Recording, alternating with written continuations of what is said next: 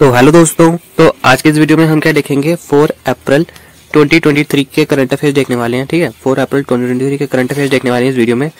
तो चलो स्टार्ट करते हैं अपनी वीडियो से। सबसे पहले हमारे जो करंट अफेयर है, वो क्या इंटरनेशनल न्यूज़ से लेते हैं। यूनिवर्सिटी ऑफ़ हाउस्टन जो कि यूएसए में has signed M I U with India के साथ।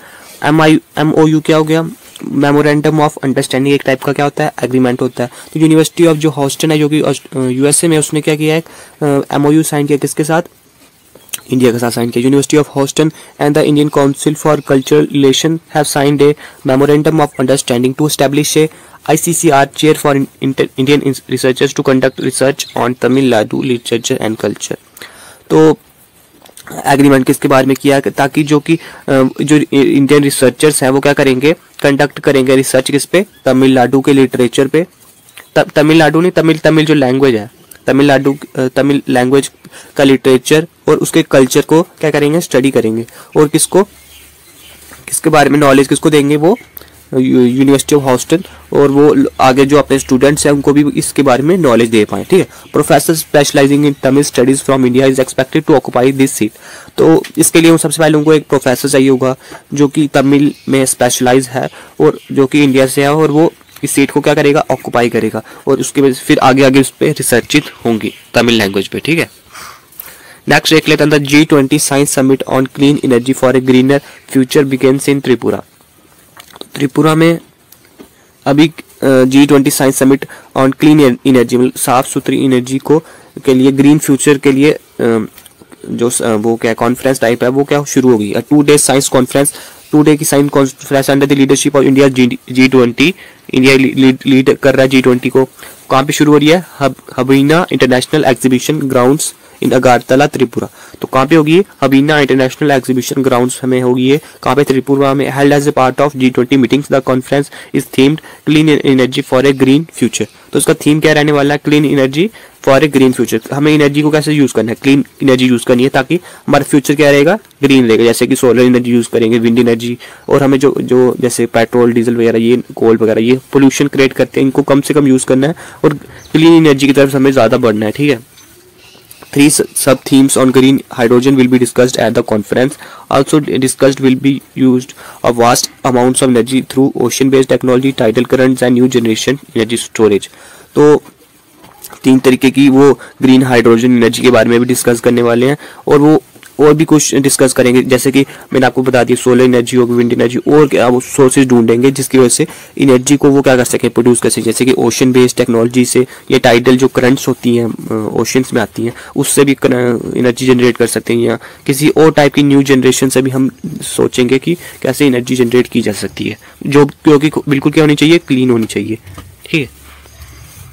नेक्स्ट देख लेते हैं इराविकुलम नेशनल पार्क है सेटअप इट्स फ़र्स्ट फेरनियम अभी क्या फेरनियम क्या चीज़ हो गई तो फेरनियम क्या होगा? एक टाइप का बोटानिकल गार्डन टाइप हो गया ठीक? बोटानिकल गार्डन टाइप हो गया जिसके अंदर फॉन्स ग्रो की जाते हैं, ठीक है? Ferns F E R N S ferns ferns को इतनी ज़्यादा सॉइल चाहिए नहीं होती। सॉइल लेस प्लांट्स होती हैं जो कि ट्रीज के आसपास क्या करते हैं ग्रो करते हैं। उनको क्या बोलते हैं? फॉन्स बोलते हैं। ठीक है to increase awareness among visitors about the biodiversity of Eravikulam national park India first fernarium has been set up inside the park तो तो लोगों के प्रति जो जागरूकता है, वो बढ़ानी बायोडाइवर्सिटी के रिलेटेड बायोडाइवर्सिटी क्या होगी? जो अलग अलग प्लांट स्पीशीज या एनिमल स्पीशीज जो कि प्रेजेंट होती हैं अर्थ के अंदर उसको क्या बोलेंगे? बायोडाइवर्सिटी बोलेंगे।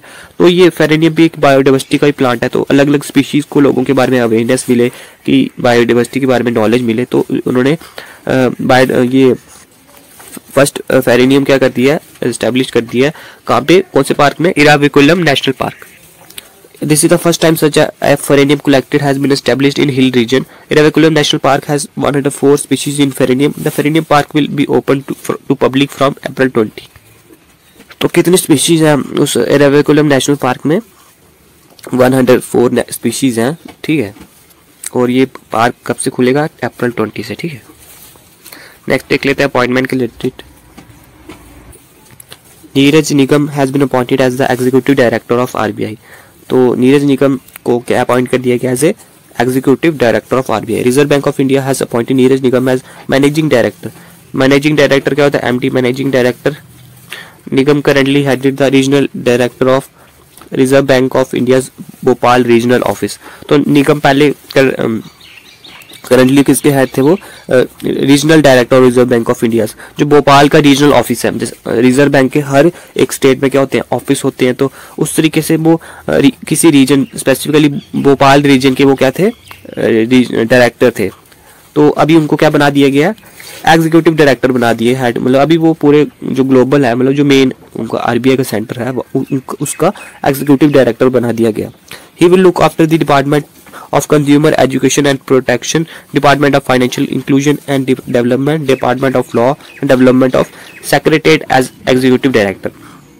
अब वो देखेंगे किस किस के बारे में department of consumer and education जो कंज्यूमर हमारा जो आरबीआई का कंज्यूमर है उसकी क्या क्या एजुकेशन करनी चाहिए कि लोगों को जागरूकता बढ़े रहे उस डिपार्टमेंट डिपार्टमेंट ऑफ़ फाइनेंशियल पैसों से रिलेटेड मैटर को भी देखेंगे डेवलपमेंट कैसे कर सकते हैं, उसके रिलेटेड क्या क्या न्यू लॉज ला सकते हैं हम department of secretary executive director क्या क्या चीज़ें हम इम्प्रूव कर सकते हैं तो उनके लिए वो सब कुछ देखने वाले हैं, ठीक है?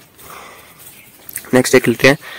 Max Verstappen wins Australian grand prix तो मैक्स वेस्ट एपिन जो कि किसकी तरफ़ से खेलते हैं? Red Bull beans beat Lewis Hamilton जो कि मर्सिडीज की तरफ़ से खेलते हैं to win the Australian grand prix prix formula one racing तो grand Australia grand prix formula racing में मैक्स वेस्ट ने किसको हरा दिया है? लिविस हैमिल्टन ठीक है? It was Verstappen first victory in Melbourne and Australian Red Bull first win since Sebastian Vettel's 2011 victory तो उनकी ये पहली विक्ट्री है 2011 से। अब तक वो कोई भी ट्रॉफी या मेडल नहीं जीते थे तो उन्होंने ये 2023 में करके दिखाया ठीक है? अभी रिसेंटली उन्होंने हराया हुआ, ठीक है? रेड बुल तो नेक्स्ट देख लेते हैं इम्पोर्टेंट डे हमारा वर्ल्ड ऑस्टियम अवेयरनेस डे ठीक है? तो इम्पोर्टेंट डे भी हम हर रोज करंट अफेयर्स में डिस्कस करते हैं। तो ऑस्टियम क्या होती है? एक टाइप की न्यूरोलॉजिकल डिसेबिलिटी होती है। इसका क्या मतलब है? जैसे किसी भी, कोई भी पर्सन की जो दिमागी हालत क्या हो ठीक नहीं, उसको क्या बोलेंगे? Neurological disability one in 68 children world wide is affected by ostium तो पूरे वर्ल्ड में 68 चिल्ड्रन में से एक चिल्ड्रन जो होगा, वो ऑस्टियम से अफेक्टेड होगा। This day celebrated to create complete awareness about its vulnerability तो ये सेलिब्रेट इसलिए किया जाता है ताकि लोगों के मन में जागरूकता रहे कि क्या क्या चैलेंजेस फेस किए जाते हैं। ऑस्टियम जो कि इफेक्टेड चिल्ड्रन होते हैं पर्सन होता है, उसको बहुत ज़्यादा चैलेंजेस फेस करने पड़ते हैं। तो वर्ल्ड ऑस्टियम अवेयरनेस ट्वेंटी थीम उसकी थीम क्या रही थी? Transforming the narrative contribution at home at work in the arts and in policy making transforming in contribution मतलब हमें क्या क्या, जो भी पर्सन अफेक्टेड है, उसको क्या क्या कॉन्ट्रीब्यूशन उसको कैसे मदद कर सकते हैं? घर पे कर सकेंगे या काम पे कर सकेंगे या कहीं और पे कर सकेंगे? और क्या क्या पॉलिसी हमें लानी चाहिए ताकि उनको क्या हो सके? उनकी जो चैलेंजेस जो फेस कर रहे हैं, वो कम हो सके, ठीक है? तो इसी के साथ हमारे करंट अफेयर्स खत्म होते हैं आज के। आई होप ये आपको वीडियो अच्छी लगी होगी। Thank you for watching